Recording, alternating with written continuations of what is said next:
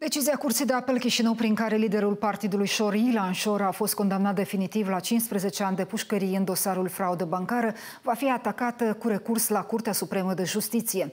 Anunțul a fost făcut de către avocații politicianului, care declară că magistrații curții au emis hotărârea sub o presiune imensă din partea actualei guvernări. În aceste condiții, apărătorii deputatului se arată convinși că Ilan Șor va câștiga la CEDO. Într-un comunicat emis de Partidul Șor se spune că unul dintre avocații lui Ilan Șor, Aureliu Colenco, a declarat că decizia Curții de Apel Chișinău nu corespunde faptelor dosarului penal, legilor Republicii Moldova și codului penal. Totodată, avocații politicianului spun că probele prezentate de ei au fost ignorate.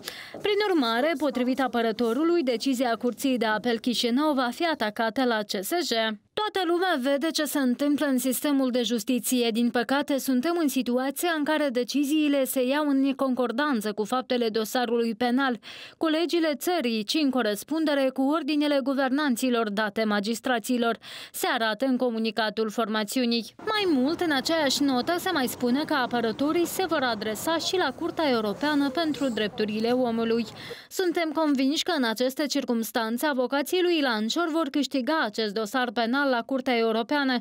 Sunt convins că această instituție va aduce claritate în această cauză.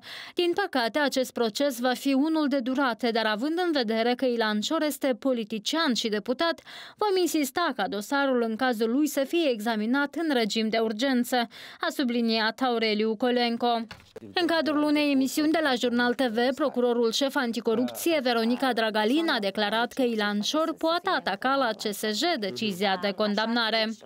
După decizia asta, faptul că persoana asta a fost condamnat înseamnă că chiar acum poate merge la închisoare. Deci trebuie să meargă după lege, trebuie da. să meargă la închisoare uh-huh. în acest moment. Uh, și dacă urmează un recurs la Curtea de uh, Supremă de Justiție, uh, persoana uh, poate aștepta la închisoare.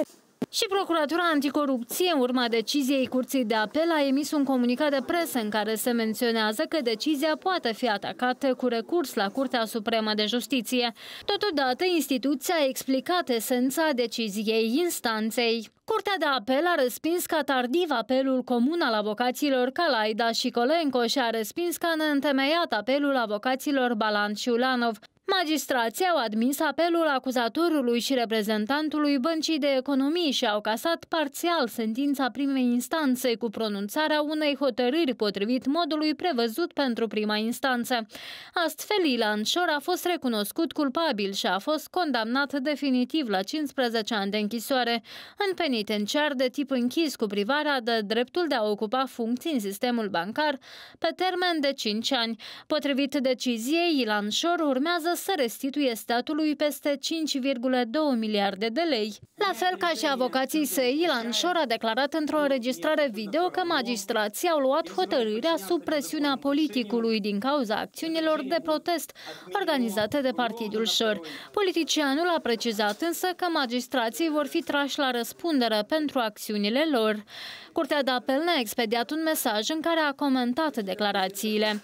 Purtătorul de cuvânt al instituției, Adelina Roșca, susține că judecarea tuturor cauzelor, indiferent de rezonanță după obiect sau subiect, se realizează în mod imparțial și în conformitate cu legea, bazată pe probele cercetate în procedura judiciară respectivă, fără niciun fel de restricții, influențe, sugestii, presiuni, amenințări sau amestecuri, fie ele directe sau indirecte din partea nimănui, indiferent din partea cui ar veni.